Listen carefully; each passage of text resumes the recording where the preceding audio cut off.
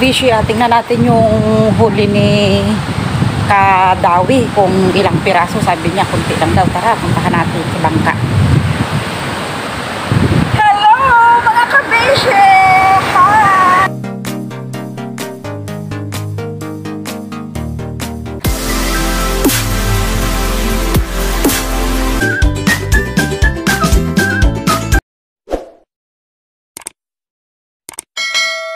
Hello mga kabishi, ah, tingnan natin yung ginawa ni Kadawi na pamain. Ayan po. Ah, meron po siyang isang na-recruit mga kabishi. Ayan po, o yung yung ano po, yung basher niya po, tumulong na po sa kanya. Ewan ko kung ano pong nakain niya. Ayan po. Ah, kay, ah, sabi po niya, ah, para pang sigarilyo daw po niya. So, ibig sabihin, wala na siyang panigarilyo ngayon. Hindi po kaya, hindi ako naniniwala na wala na siyang panigarilyo. Ah, gusto lang niyang matuto sa pamain. Baka may balak na siya mga kabishi na mag-vlog na rin sa laot.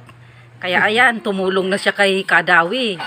Ah, gumawa ng pamain. Hindi yan mag-vlog doon, lulain pa kaya sapa, doon pa kaya sa laot. Anong channel mo? Ah, Roldan. ano? Habal-habal channel. Habal-habal Channel TV. Kaya, walang katulad. Ah, update po tayo mga kabishi kung yang sa pamain na yan ay maging jackpot ba. Update po tayo sa paglaot ni Kadawi sa kanyang mga ginawang pamain. Okay. Few moments later. Mga bishi, magkilo tayo sa huli ni Kadawi, Kadawi TV. Ayan ang kanyang huli.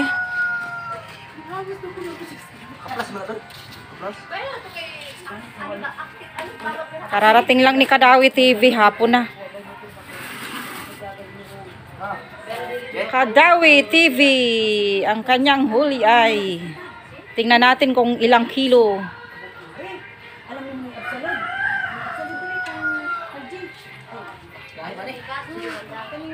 Itong isang tarahan siguro do.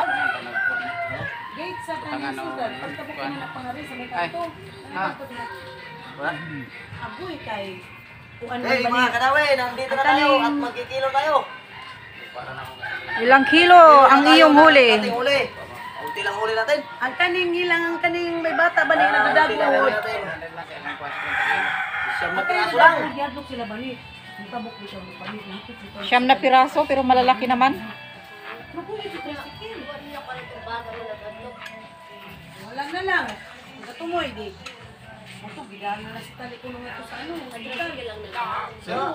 Okay, lista ilang kilo.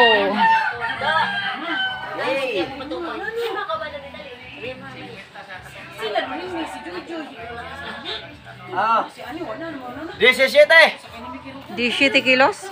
Oh. 17 lang talaga mga kadawe. Ang huli ni Kadawi, 17 kilos.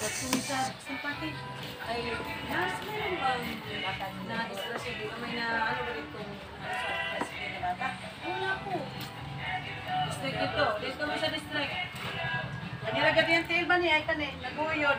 Kay na na napira na sa tricycle ang. Okay, wala nang iba. Yan ang kanyang huli mga Yan lang talaga, sa mga kadawi. Ulo, wala.